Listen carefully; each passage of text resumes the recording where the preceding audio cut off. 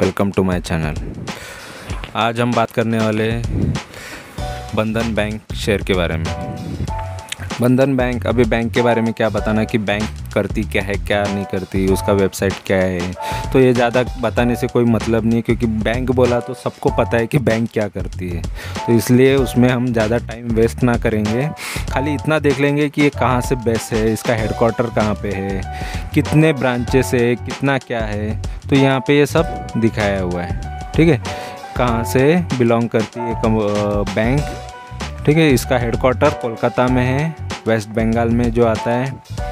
और Bandhan bank present in 34 out of 36 state मतलब 34 state में अवेलेबल है, राज्यों में अवेलेबल है। इसके सीईओ कौन है? और इसका यहाँ पे चेयरपर्सन कौन है? ठीक है फाउंडर कौन है? ठीक है सीईओ और फाउंडर एक ही है। तो और ये कब फाउंड हुई है? कब ये कंपनी आई है? तो 2001 में ये बंधन बैंक आई हुई है। ठीक है? और यहाँ पे इसका जो गूगल पे बताया जा रहा है तो हम देख लो जो प्राइस बता रहे हैं।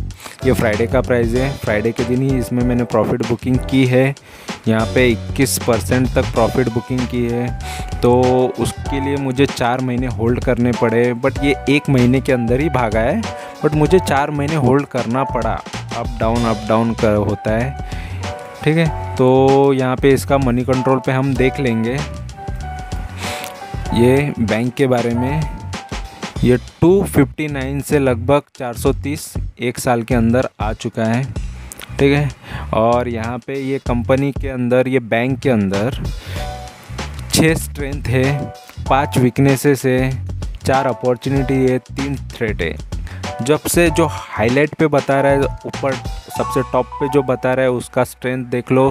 छः में से ऊपर का स्ट्रेंथ है नेट प्रॉफिट ग्रोथ हो रहा है। Net profit increasing profit margin भी बढ़ रहा है क्वार्टर ऑन क्वार्टर और वीकनेसेस में सबसे टॉप पे जो बता रहा है पाँच में से, एक जो ऊपर बता रहा है तो उसमें inefficient use of asset generate profit to generate profit मतलब यहाँ पे क्या बन, बता रहे हो? प्रॉपर यूज़ नहीं हो रहा है। जो असेट है, जो असेट इनका क्या रहेगा? कैश रहेगा जो पब्लिक का, जो हम डिपॉजिट करते हैं तो उसका प्रॉपर यूज़ नहीं हो रहा है। मतलब वो दे नहीं रहे लोन या ये ऐसा नहीं दे रहा है, जो उनको प्रॉफिट जनरेट करने के लिए यूज़ हो सकता है। तो उसका प्रॉपर यूज़ नहीं हो रहा है। वो एक हाईलाइट ये वीकनेसेस बता रहा है। अपॉर्चुनिटी क्या बता रहा है? चार अपॉर्चुनिटीज़ बता रहे देख लो। पॉजिटिव ब्रेकआउट सेकेंड रेजिस्टेंस हाँ तो R2 जो है, उसमें ब्रेकआउट आया है, जो ये चार्ट वाइज बताते हैं ये। ठीक है रेजिस्टेंस तोड़ा, अभी और दौड़ेगा, ये होता है, ये चार्ट वाइज ये ट्रेडर के लिए, ये अपॉर्चुनिटी है, ठीक है? और थ्रेड क्या बता रहा है? Recent broker downgrade in repo और टारगेट प्राइस रेको और टारगेट प्राइस ठीक है? रिकमेंडेशन और टारगेट प्राइस में ये इन्होंने जो रिसेंट ब्रोकर कुछ है, उन्होंने डाउनग्रेड किया है इनको टारगेट प्राइस इसका टारगेट प्राइस कम कर दिया है कि इसका टारगेट अभी ये अचीव नहीं हो सकता। ये एक थ्रेड बताया हुआ है। तो और दूसरा, इसका मार्केट कैपिटल देख लो।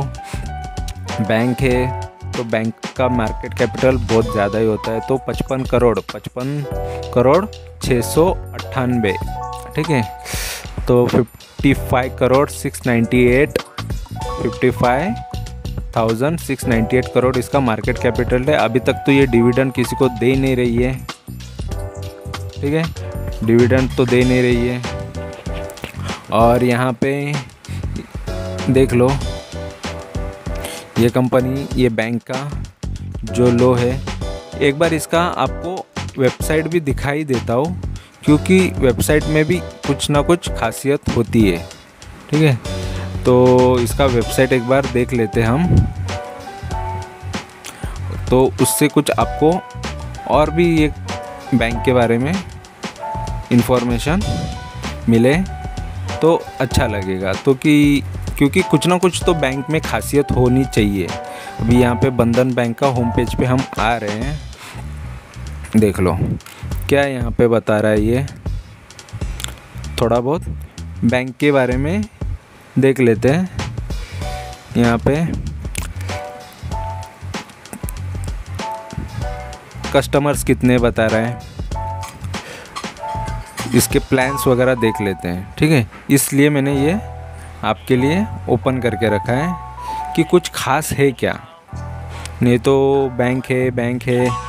कि ये कितना परसेंट रेट ऑफ़ इंटरेस्ट पे देता है लोन या इसका सेविंग इंटरेस्ट क्या है? ये सारा इन्फॉर्मेशन अगर अपने को यहाँ पे हाईलाइट में दिखाता है तो इसका मतलब बैंक फिर अच्छा ही है। बाकी इसमें कुछ ऐसा दिखाता नहीं है तो मतलब सोच लो नॉर्मल ही है सब कुछ। ठीक है? तो यहाँ पे देख लो कोई यहाँ पे फ़र्स्ट पेज पे कुछ इन्फॉर्मेशन दी नहीं है कुछ हाईलाइटेड नहीं है तो इट मीन्स नॉर्मल ही है सब कुछ। तो यहाँ पे कोई ज़्यादा बेनिफिट वाला चीज़ तो यहाँ पे नहीं दिखाई दे रहा है। ठीक है? या हम सेविंग अकाउंट भी ओपन करते हैं ये लोन से यहाँ पे सेविंग अकाउंट देखते हम। हम्म, तो सेविंग अकाउंट के लिए भी हाँ चलो यहाँ पे दिखा रहा है। सेविंग अकाउंट पे सिक्स परसेंट इंटरेस्ट रेट। ये हो गया हाईलाइटेड। सबसे अच्छा हो गया अनलिमिटेड कैश ट्रांजैक्शन। कितने भी कैश ट्रांजैक्शन कर सकते हो हाँ बट इनके मंथली एवरेज बैलेंस का कुछ मिनिमम रखने का क्राइटेरिया भी होता है। पाँच हज़ार से भी स्टार्ट है, लो मेंटेनेंस में पाँच हज़ार मंथली रख सकते हो। तो ये सब भी देखना पड़ता है कि हाँ ये बैंक का कुछ स्कोप है क्या? तो छः टक्का, बाकी तीन, साढ़े तीन टक्का दे रही है बैंक तो ये छः टक्का दे रही है। बट यहाँ पे इन्होंने फ़र्स्ट पेज पे ये सारी चीज़ें नहीं बताई है। ठीक है? तो ये भी दिखा देते कोई कोई बहुत सारे बैंक फ़र्स्ट पेज पे ही दिखा देते कि इनका सेविंग इंटरेस्ट सबसे हाई है करके। ठीक है? तो ये ढूंढना पड़ रहा है। तो ये हमने देख लिया। ठीक है? और ये बैंक के बारे में हो गया। अभी हम इसका जो देख रहे थे, वो कंटिन्यू करते हैं। मनी कंट्रोल पे। हम जो कंटिन्यूज़ में थे, वो चीज़ हम यहाँ पे कंटिन्यू करेंगे। यहाँ पे शेयर के बारे में। ठीक है? तो मतलब आपके लिए ये आइडिया आ गया कि हाँ बैंक में ये भी चीज़ खासियत है। तो यहाँ पे बाकी सब देख लिया हमने। अभी चार्ट देख लेते हैं। यहाँ पे देख लो। चार्ट कैसा दिख रहा है? कंटिन्यूज़ में, यहाँ पे जो चौ, पच्चीस अगस्त को जो लो था 25 अगस्त का जो लो, यहाँ पे लो बता रहा है 259 259 का लो से देख लो ये हाई कितना मारा है? 348 का। ठीक है? तो कितना तगड़ा इसमें इंक्रीज आया है प्राइस में ग्रोथ कितना आया है, ठीक है शेयर कितना बड़ा है। तो ये टाइप का होता है कॉन्सेप्ट तो मैंने अभी चार महीने पहले जो लिया था तो चार महीने मतलब जून के आसपास जो लिया था मैंने, इसमें एंट्री की थी, ठीक है। यहाँ पे कुछ शेयर को गिरते हुए देखा था, यहाँ से ये गिरा हुआ जो दिखा तो मुझे लगा ये बहुत, अभी यहाँ तो ख़रीदना चाहिए, यहाँ से बढ़ेगा, बढ़ा। बट मुझे कितना चाहिए कि 20 से 25 टका तक तो चाहिए रहता है। मिनिमम तो 20 टका ही लेके निकलूँगा मैं किसी भी कंपनी से। और बैंक है तो बैंकिंग तो हमेशा दबा हुआ ही सेक्टर है। बैंक में ज़्यादा ग्रोथ आता नहीं है। क्योंकि बैंक का वो एनपीए का इशू रहता है कि नॉन परफॉर्मिंग असेट रहता है कि लोगों को लोन दिया है बट लोग चुका नहीं रहे तो एक ये सबसे बड़ा इशू रहता है। तो बैंकिंग सेक्टर हमेशा से दबा हुआ ही रहता है। बहुत कम कंपनी कम बैंक रहेंगे जिनका एन पी ओ स्ट्रॉन्ग है कि हाँ नहीं, ये इनका परफॉर्म नॉन परफॉर्मिंग असेट बहुत कम है। मतलब इनका इनकम बहुत हो रहा है। जो लोन बांटा हुआ है, उनसे इनकम इनका ज़्यादा होता है तो वैसा। तो ये कंपनी के बारे में भी अभी बैंक के बारे में अभी देख लेंगे। देखो, वहाँ से फिर ये इतना बड़ा, फिर वहाँ से फिर डाउन डाउन डाउन डाउन आया। तभी मैंने इसमें बंधन बैंक में बाइंग बाइंग बाय कर लो बाय कर लो। रिकमेंडेशन टेलीग्राम चैनल पे देते जा रहा था। उसमें एक बार डिविडेंड भी दे दिए। देखो, एक रुपये का डिविडेंड दे चुकी है। तो लगभग एक रुपये दिए एक शेयर के पीछे। तो जितने शेयर रहेंगे, उतना प्रॉफिट सौ शेयर लेके बैठो, सौ रुपये तो ऐसे हो गया। ठीक है? तो यहाँ पे, फिर इससे यहाँ तक तो जब जब ये गिर रहा था ना, तब तक मैं तगड़ी बाइंग करते जा रहा था। बाय पे बाय बाय पे बाय फिर लोगों को भी रिकमेंड कर रहा था, बंधन बैंक बाय कर लो, बंधन बैंक बाय कर लो। यहाँ पे बाय यहाँ तक बाय करते गया। फिर उसके बाद इसने मेरे को दे दिया। बीस इक्कीस टक्का दे दिया। मेरे को जो यहाँ पे कुछ बाई किया था, यहाँ से बाई यहाँ तक बाई किया। तो थोड़ा बड़ा तो मैं कभी भी ऑलवेज़ मेरे प्राइस के नीचे ही बाई करते जाता हूँ। तो मैंने मेरे प्राइस के जब जब नीचे था, तब तक मैं इसमें बाई करते गया, ठीक है? तो यहाँ तक मैंने बाई किया, फिर उसके बाद एक बैंक तेज़ी से बढ़ा और इस पर मैंने सेल कर दिया। तो ये था चार्ट वाइज जो मैंने आपको बताया। तो ये साल भर में कुछ ज़्यादा बढ़ा नहीं है, लगभग सोच लो साठ सत्तर टक्का तो बढ़ चुका है। ठीक है? डबल तो हुआ नहीं पैसे किसी के, क्योंकि यहाँ पे एक साल का अगर देखा जाए, एक साल में कैसा ग्राफ है, यहाँ पे ये है इसका टॉप, यहाँ पे टॉप है तो और ये अभी बैंक ये रेंज में है तो नीचे ही है, और उसको टॉप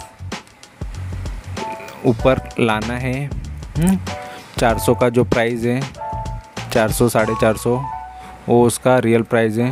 अभी भी ये प्राइस से पीछे ही ये नीचे है। ठीक है तो और इसका बाकी हम देख लेते हैं। परफॉर्मेंस प्राइस परफॉर्मेंस देख लो। वन वीक का वन वीक का प्राइस देख लो। मतलब एक ही वीक में ये साढ़े उन्नीस टक्का तो बढ़ चुका है। एक मंथ में बीस, इक्कीस टक्का बढ़ चुका है। तो परफॉर्मेंस मैंने बोल दिया कि एक एक महीने के अंदर ही बढ़ाइए, लेकिन मेरा होल्डिंग बहुत पीछे से है। तो हम होल्ड करके रखते हैं बट जहाँ अपने को मिले, जहाँ उसका इंक्री इंक्रीज हो वहाँ पे अपना प्रॉफिट निकल रहा है तो ही निकलो। बट मुझे तो बीस टक्का चाहिए रहता है बट वो टाइम पे नहीं मिला। यहाँ पे अभी जाके तो इतना टाइम होल्ड करने के बाद ये अभी जो ग्रोथ आया, उसमें मैं निकल चुका हूँ। ठीक है? तो यहाँ पे अपन झूठ तो बोल नहीं सकते कि हाँ मैंने एक महीने में प्रॉफिट किया, एक महीने में ये किया। जो भी है, जो सच है, वही मैं आपके लिए सामने लाता हूँ। मैंने इतना टाइम होल्ड किया, उसके बाद मैंने उसमें हाँ तो इसमें मज़ा क्या रहता है ना, कि हमको है ना और क्वांटिटीज़ खरीदने के लिए टाइम मिला। बहुत लो, बहुत जितने शेयर और क्वांटिटीज़ ही हमारा प्रॉफिटेबिलिटी बढ़ाता है। परसेंटेज चाहे सेम लो बट क्वांटिटीज़ कितनी खरीदनी है, वो मैटर करता है। तो ये होता है स्विंग ट्रेडर का बेनिफिट चलो यार, मैंने चार महीने होल्ड किया, उतने शेयर उतने शेयर नहीं लिए। मैंने लेते गया, मैं बाइक की रिकमेंडेशन 25 अगस्त जो लो था, तब तक मैं लोगों को बोलते गया कि बाई करो बाई करो बाई करो और मैं खुद भी बाई कर रहा था। तब तब लोगों ने लिया तो उनका बेनिफिट ज़रूर हुआ रहेगा, उनको 25 से 30 टक्का मिला रहेगा क्योंकि जो लो पे बाई करता है, उसको 25 टक्का तो मिलेगा ही। 25 से 30 टक्का तो उसको मिला ही रहेगा जिसने लो पे बाई किया। और जो हाई पे थे, उनको 20 से 21 टक्का, बाईस टक्का तो मिला ही रहेगा। ठीक है? क्योंकि एवरेज भी प्राइस होता है, जो एवरेज प्राइस कम करना मोस्ट ऑफ़ लोगों को नहीं जमता है, ठीक है? तो यहाँ पे बीस इक्कीस टक्का तो एक महीने में जो ग्रोथ हुआ है, वो हुआ। बट जो लो से, अभी देखो, वो ईयर टिल मतलब ये तीन महीने में देखो दस ही टक्का हुआ है। बट तीन महीने में दस टक्का हुआ है बट मैंने कितना ले लिया? मैंने ज़्यादा ले लिया ना, क्योंकि मैं बाई करते जा रहा था, नीचे डाउन पे भी। तो एक्स्ट्रा दस टक्का या ग्यारह टक्का मैंने बाई कर करके लिया, क्योंकि मेरा प्राइस और डाउन चला गया एवरेज प्राइस और यहाँ पे ईयर टिल डेट देख लो जनवरी से अभी तक तो ये डाउन में है. मतलब जो जनवरी से लेके बैठा बेचारा तो पंद्रह टक्का फिर भी डाउन में है. एक साल में जिसने लिया, चलो एक साल में थोड़ा प्रॉफिट में है, आठ टक्का ही प्रॉफिट में है. तो ये भी होता है कि कब बाई करना चाहिए, कब सेल करना चाहिए. तीन साल से जो होल्ड करके बैठा बेचारा छब्बीस सत्ताईस टक्का डाउन में है.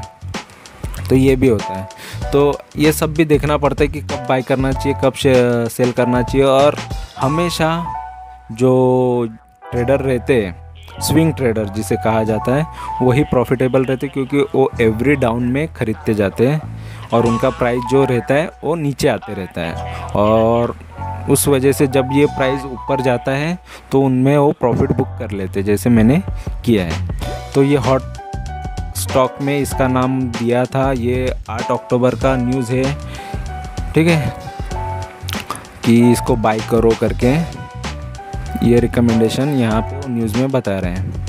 तो यहाँ पे ब्रोकर भी बोल रहा है एम के ग्लोबल भी बता रहा है। 390 का टारगेट दे रहे हैं। 309 का जब प्राइस था, तब उन्होंने बताया था। और ये 16 जुलाई का उनका रिकमेंडेशन है। तो ऑलरेडी मैं उनसे पहले ही ले चुका हूँ, जून में ही ले चुका हूँ। मुझे ऑलरेडी प्राइस अच्छा लगा तो मैं किसी का रिकमेंडेशन देखते बैठता नहीं हूँ। मुझे प्राइस अच्छा लगा, मैं मेरे हिसाब से ही चलता हूँ, ठीक है? तो ये प्राइवेट बैंक है, देखो यहाँ पे प्राइवेट बैंक बता रहा है। तो ये भी कंफर्म होना चाहिए कौन सी बैंक है ये, ठीक है? और यहाँ पे अभी 345 है ना तो 390 तक जाएगा ये इसका कहना है। तो ये कब तक जाएगा? दिसंबर जा लगता है। या अक्टूबर, दिवाली, नवंबर दिवाली तक होता है। तो ये पता नहीं होता है किसी को भी बट हर कोई अपना अपना टारगेट दे के रखते हैं। ठीक है? मैं तो निकल गया हूँ। ठीक है, हो सकता है फोर्टी फाइव रुपीज़ और बढ़ भी सकते हैं बट बढ़ेगा। देखो कंप बैंक है शेयर है बढ़ेगा ही। डाउन नहीं आएगा। बट हमको कब ख़रीदना है? ये इम्पोर्टेंट होता है। उसका बाकी सब चीज़ें प्रॉफिटेबिलिटी पे, उसके फाइनेंशियल पे वर्क करता है। तो यहाँ पे पब्लिक भी बोल रही है पचास टक्का की बाई करके चलो। पब्लिक का भी रिकमेंडेशन है, बंधन बैंक को बाई करो बट पचास टक्का ही लोग बोल रहे हैं। ज़्यादा लोग नहीं बोल रहे हैं, ठीक है? और यहाँ पे जो इनसाइडर डील्स हुई है, उसके बारे में भी बताया हुआ है। बाद में ये इनसाइडर ट्रांजेक्शन ये ये ब्लॉक डील्स है बड़े बड़े डील्स हैं। और ये इनसाइडर ट्रांजेक्शन से अंदर जो प्रमोटर्स हैं डिजिनेटेड पर्सन कौन है, क्या नाम है, उनका ये सारे इनसाइडर ट्रांजेक्शन बताए हुए हैं। फिर अभी यहाँ पे आते हैं हम लोग फाइनेंशियल्स पे। फाइनेंशियल्स पे देख लो, इसका रिवेन्यू बहुत अच्छे फाइनेंशियल बंधन बैंक अभी तो मैं हर किसी को बोलूँगा, बंधन बैंक बहुत अच्छा है। ठीक है? अभी और ये रिवेन्यू भी देख लो, अभी 2021 भी बाकी है। प्रॉफिट नेट प्रॉफिट प्रॉफिटेबिलिटी भी बहुत अच्छा है। ग्राफ देख के ही कंपनी में इन्वेस्ट करना चाहिए। ये सारी चीज़ें देख। अगर हम किसी कंपनी में जॉब भी करते हैं कंपनी प्रॉफिटेबल है तो हमारा भी बहुत तगड़ा सैलरी बढ़ता है। अगर कंपनी का प्रॉफिटेबिलिटी ही ख़राब है तो सैलरी क्या बढ़ना क्या? सोचो तुमको वो जो सैलरी मिल रहा है वो भी मिलेगा, नहीं मिलेगा, एक महीना, दो महीना तो कंपनी का परफॉर्मेंस उसी पे रहता है कि कंपनी प्रॉफिट में है या नहीं। तो आगे जाके उनका भविष्य, उनके साथ काम करने वाले का भविष्य बनता है, ठीक है? तो ये तो अच्छा ही है कि बंधन बैंक बहुत अच्छा है बैंकों में, ठीक है? आगे के लिए, ये हज़ारों, दो हज़ार, तीन हज़ार के प्राइस तक भी जा सकता है, ये कंपनी में इसके प्रॉफिटेबिलिटी से दिख रहा है, ठीक है? तो और इसका प्रमोटर देख लो प्रमोटर के पास लगभग 40 टका तक है 39.99 मतलब 40 टका तो प्रमोटर ने होल्ड करके रखा है। एफ़ ने सबसे ज़्यादा लिया है, देखो फॉरेन के लोगों को पता चल गया है कि बंधन बैंक बहुत अच्छा है, इसमें इन्वेस्ट करो एचडीएफसी बन सकता है ये नेक्स्ट ये फॉरेन के लोगों को पता चला तो फॉरेनर लोग इंडियन कंपनी में पैसा लगा रहे तो कितना सोच समझ के लगाएँगे। फिर भी चलो 21 फॉरेन की कंपनियों ने इसमें से निकल गई है। बट 531 मतलब सबसे ज़्यादा 531 तो कंपनियाँ है फॉरेन की, जो इन्वेस्ट करके रखा है। एफ़ आई है एफ़ पी है ठीक है, ये और ये जून का डेटा है, ये भी जून का है। और म्यूचुअल फंड ने भी 21 म्यूचुअल फंड ने इसमें इन्वेस्ट करके स्कीम ने यहाँ पे म्यूचुअल फंड स्कीम लिखा है मतलब 21 म्यूचुअल फंड की स्कीम अलग अलग स्कीम उसने इसमें पैसे डाल के रखे हुए हैं, ठीक है? तो और यहाँ पे पब्लिक का देख लो पब्लिक के पास 22 टक्का है होल्डिंग शेयर से पब्लिक के पास। डीआईएस को बहुत कम मिला है। डीआईएस क्या होते हैं? बड़े बड़े इंडियन इन्वेस्टर्स रहते बड़े, जो institutional investor domestic institutional investor जो होते हैं वो डी है तो डी के पास बहुत कम है और एफआईएस के पास बहुत ज़्यादा है और प्रमोटर और पब्लिक के पास ज़्यादा है। तो सोच लो, मुझे तो कंपनी बहुत अच्छी लगी बैंक बहुत अच्छा लगा, बंधन बैंक मैंने वो चीज़ पहले ऑलरेडी देख चुका था तब भी मैंने इसमें एंट्री की थी। और बैंक है बैंक में एनपीए का एक थोड़ा इशू होता है कि लोग लोन नहीं चुकाते इस वजह से बैंकों का ज़्यादा और बड़े लोग जो बड़ी बड़ी कंपनी है वही बैंकों को डुबाती है। छोटे लोग ईमानदारी से दे देते हैं पैसे, लोन लिया है तो चुका देते हैं, ठीक है? बट बड़े लोग जो लॉस करते हैं ना, उस वजह से कंपनियाँ डूब जाती है। तो थोड़ा बहुत ये कंपनी सोच संभल, सोच समझ के चल रही है। यहाँ पे जो इनफिशियंट जो असेट का यूज़ बता रहा है कि नहीं कर रही है प्रॉपर तो ये सोच समझ के ही लोगों को लोन दे रही है। हर किसी को देख के ना, डूब नहीं जाना इनको। ठीक है? तो बैंक बहुत अच्छी है। मैं तो रिकमेंड करूँगा। मैं खुद भी इसमें फिर नीचे आता है, फिर लेते रहूँगा। देखो, कोई भी बैंक में अगर तुम यहाँ पे पैसे लगा के रखते छः टक्का मिलता, है ना? यहाँ पे मुझे चार महीने होल्ड करने पड़े चलो, एक महीने में बढ़ा बट चार महीने होल्ड करने के बाद बट प्रॉफिटेबिलिटी क्वांटिटीज़ बढ़ी मेरी, और प्रॉफिटेबिलिटी बढ़ी। इसके वजह से मैंने 21 टक्का 21 परसेंट ठीक है? 21 परसेंट इसमें प्रॉफिट ले लिया। तो बहुत अच्छी बात है ना। साल भर में अगर रखता तो छः टक्का मिलता। बट उनका भी ये है ना क्राइटेरिया कि इतना अमाउंट रखना पड़ेगा। ये भी रहते हैं कि एक लाख रुपया रखो तो ही हम छः टक्का देंगे। नहीं तो आपको साढ़े तीन ही टक्का देंगे। ये भी होता है बहुत सारे बैंकों में। तो एक लाख पे छः टक्का कितना होता है? वो भी कैलकुलेट कर लो। ठीक है? एक लाख का छः हज़ार मिल जाएगा। है ना? तो छः हज़ार, अगर वही एक लाख पे बीस इक्कीस टका मतलब बीस इक्कीस हज़ार। तो क्या बेटर है शेयर्स लेके रखना या बैंक में रखना? तो इसीलिए मैं शेयर लेता हूँ। बैंक में भी रखो बट शेयर्स भी अच्छे अच्छे कंपनियों के चूज़ करो। देखो, चार महीने में मिल रहा है वो चीज़, जहाँ एक साल भी रुकने की ज़रूरत नहीं है। फिर वही पैसा फिर से कई बैंक में लगा दो या यही बैंक फिर से नीचे आता है, फिर तभी एक बार लगा दो। क्योंकि ये अभी हाई से अभी भी बहुत नीचे है। तो अभी भी बाई कर सकते हैं, क्योंकि देखो ये बीचों बीच है। अभी भी बाई करके चल सकते हैं। कोई इसमें ख़राबी नहीं है। और मैं नीचे जाएगा, फिर मैं इसमें और इन एंट्री कर सकता हूँ, ले सकता हूँ। बट लॉन्ग टर्म के लिए तो मुझे ये बैंक बहुत अच्छा लगता है। जिसको लेना है, बिंदास ले सकते हैं। मेरा हमेशा से अच्छी बैंकों के लिए ये रिकमेंड रहेगा। और मैं फाइनेंशियली और फंडामेंटली शेयर को चेक करता हूँ, तभी उसमें इन्वेस्ट करता हूँ, ठीक है?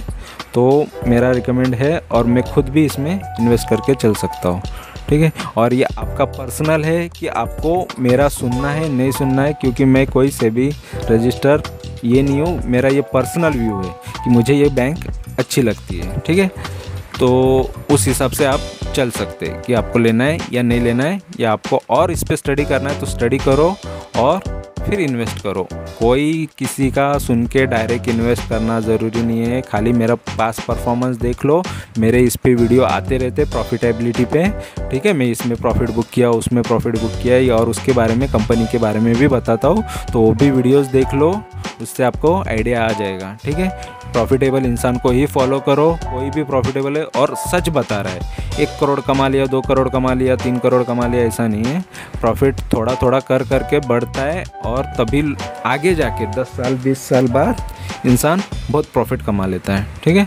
तो ये था बंधन बैंक के बारे में मेरा रिव्यू ठीक है? एनालिसिस तो आपको मेरा वीडियो अच्छा लगा इन्फॉर्मेशन अच्छा लगा, हर इन्फॉर्मेशन सच है, सब आपके आँखों के सामने है, और कोई झूठ, कोई फेकम फाकी नहीं है कि कोई फेंक रहा है, कुछ भी बता रहा है। और ये कर रहा है और मैं खुद इसमें इन्वेस्ट करता हूँ और मेरा ही इन्वेस्टमेंट के बाद उसको मुझे क्या रिटर्न मिला वो मैं आपसे शेयर करता हूँ। ठीक है? आपको मेरी इन्फॉर्मेशन अच्छी लगती है, ज़रूर सब्सक्राइब करो। सब्सक्राइब में कोई घाटा नहीं जाता है। लाइक करो लाइक करने से ये शेयर और थोड़ा फैलेगा।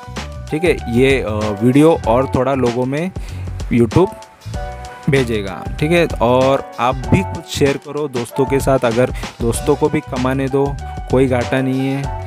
फ़ायदा करो, दूसरे का भी फ़ायदा करो, उससे फ़ायदा होगा। शेयर मार्केट में बहुत सारा पैसा पड़ा है। ऐसा नहीं कि यार मैं खुद ही अकेला कमा लूँगा, अकेले को ही चाहिए। शेयर मार्केट में बहुत सारा पैसा है। कोई ये आपका जेब से नहीं जाने वाला है। आपको जो इन्वेस्ट करोगे, सामने वाला भी जो इन्वेस्ट करेगा, उस पर उसको पैसा मिलेगा। कोई सौ लगा रहा है, दो सौ लगा रहा है, पाँच सौ लगा रहा है, वो अपने अपने हिसाब से लगाएगा। कोई दस हज़ार लगा रहा है तो जो ज़्यादा पैसा लगा रहा है, वही ज़्यादा कमाता है। जो कम लगा रहा है, वो कम ही कमाएगा। ठीक है? तो यही कॉन्सेप्ट है। तो कोई इसमें कंजूसी नहीं करना है। बिंदास शेयर को, चैनल को सब्सक्राइब करो, शेयर को ख़रीद सकते हो, ठीक है? चैनल अच्छा लगे, लाइक करो, शेयर करो, सब्सक्राइब करो। Thank you. Bye bye.